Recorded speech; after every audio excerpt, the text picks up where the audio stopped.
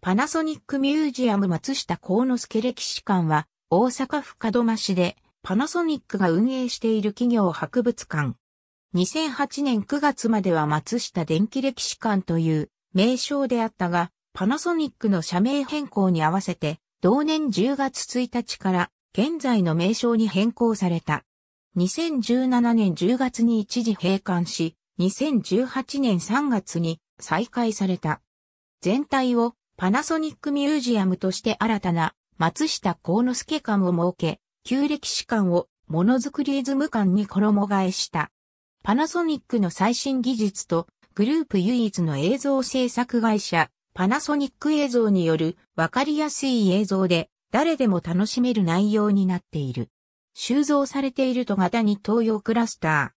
松下電機産業が創業50周年記念事業の一つとして1968年3月に開設した企業博物館。展示物はおよそ600点。建物は1933年建設の本社社屋を改装したもの。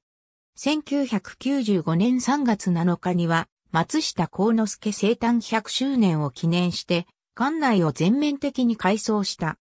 館内はパナソニックが現在に至るまでの歴史や、松下幸之助の生涯について展示されており、創業から1980年代までの広告などを集めたコーナーは見学者から好評を博している。館内のハイビジョンシアターでは、松下幸之助の映像資料が放映されている。